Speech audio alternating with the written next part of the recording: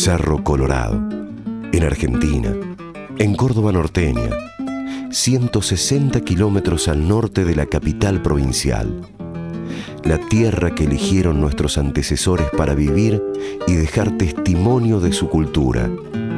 La tierra de Córdoba, que combina una plenitud de historia, belleza y misterio. La tierra norteña que con su mística y belleza cautivó a uno de los más grandes poetas y compositores de nuestro país, Don Atahualpa Yupanqui. La tierra de Córdoba norteña, que hoy, en el centenario de su nacimiento, rinde tributo al artista.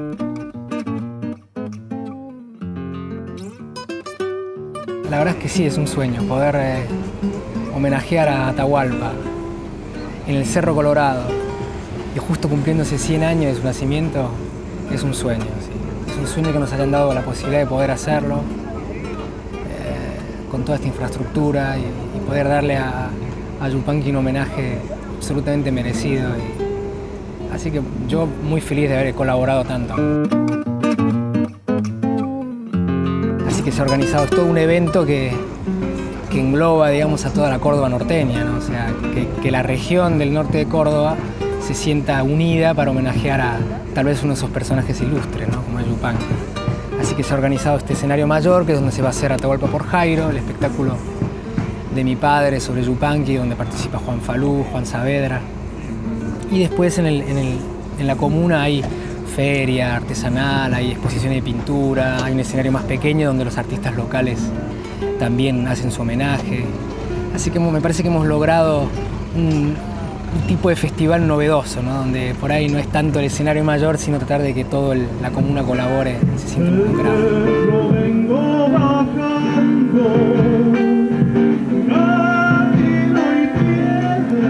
Eh, nuestro mayor anhelo es que se haga todos los años, o sea que mi padre siempre tuvo la buena idea, digamos, de, describirnos sus pagos con muchísima magia.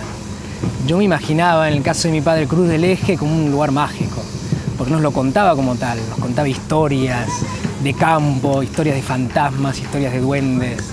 Entonces, cuando yo llegué acá, para mí esa magia nunca se perdió.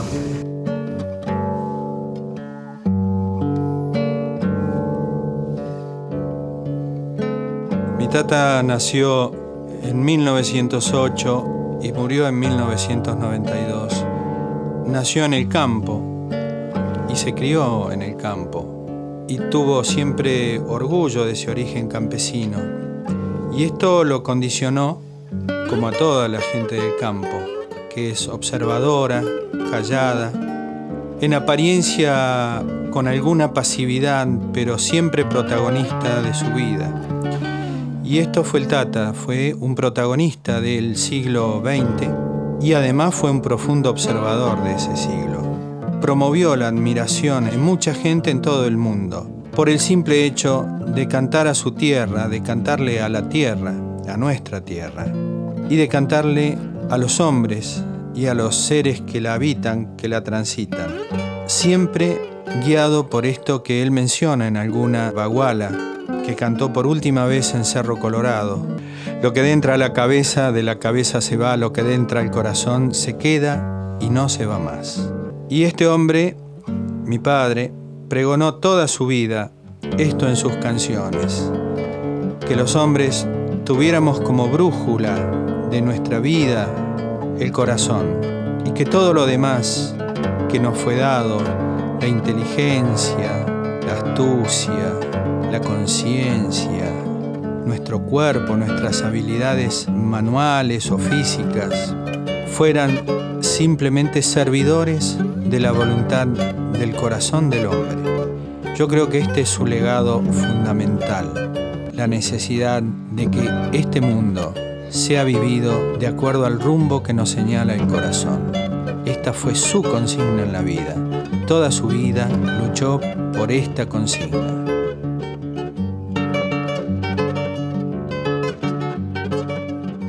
Esta noche acá, hacer lo que vamos a hacer esta noche acá, homenajearlo en la circunstancia que lo vamos a hacer, es decir, en, el centenario de su natalicio y demás, me parece que es algo muy importante porque es como si él a su cumpleaños número 100 nos invitara a cantar en su casa. Veo a la gente en, el, cerro, por las calles, los coches, ya no sé dónde poner los coches, ¿eh? no, hay lugar para poner los coches, está la gente... Así que yo creo que se ha creado una expectativa muy grande, la gente ha venido a pasar un día de fiesta además, y convocar una fiesta en torno a una figura como la de Atahualpa es... Solamente lo podemos hacer acá, en el Cerro Colorado, me parece a mí. ¿eh? El hecho de que Córdoba realice estos eventos en plena naturaleza, a mí me parece que ir al encuentro del futuro, por los lugares y por las actitudes alternativas. Hay agotamiento ya de ciertos espacios, hay algo que crece, algo que renace, y yo creo que este es un evento para reflexionar con emoción, para que se sigan realizando en otros lugares parecidos o de distintas este, características, pero que, que conmuevan, conmuevan por lo, por lo hermoso del lugar. Creo que este es el futuro.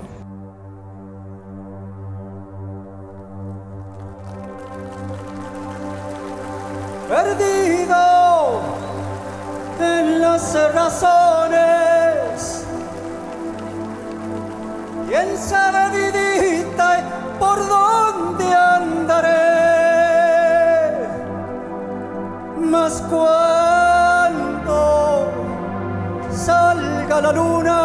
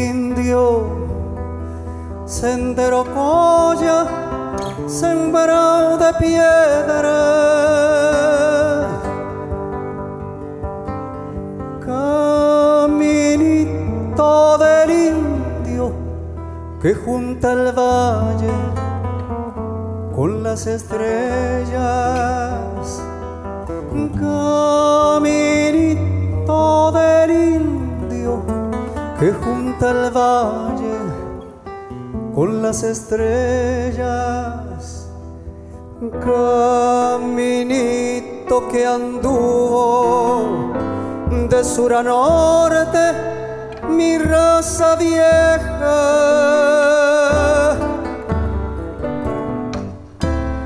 Antes que en la montaña la Pachamama se ensombreciera que en la montaña la Pachamama se ensombreciera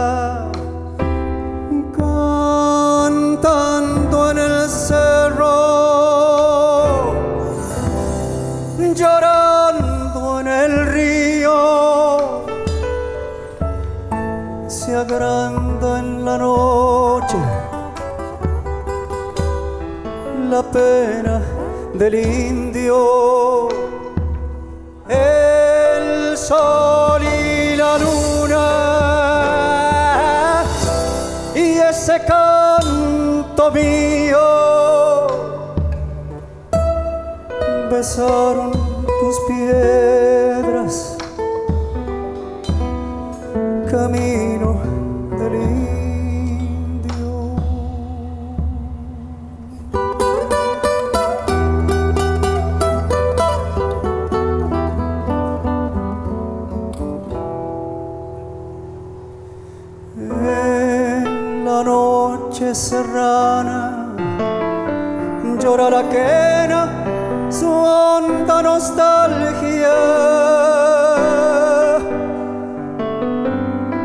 Y el caminito sabe cuál es la chora que el indio llama. Y el caminito sabe cuál es la chora que el indio llama. Se levanta en el cerro la voz doliente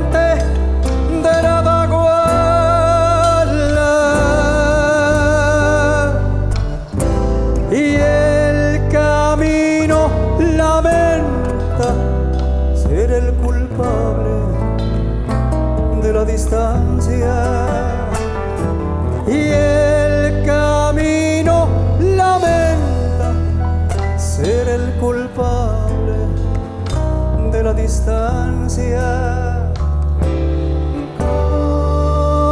cantando en el cerro llorando en el río se agranda en la noche la pena del indio.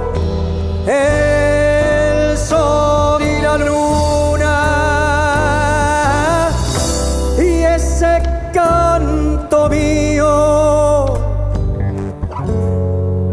besaron tus piedras.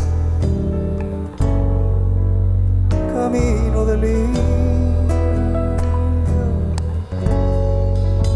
camino del indio camino del indio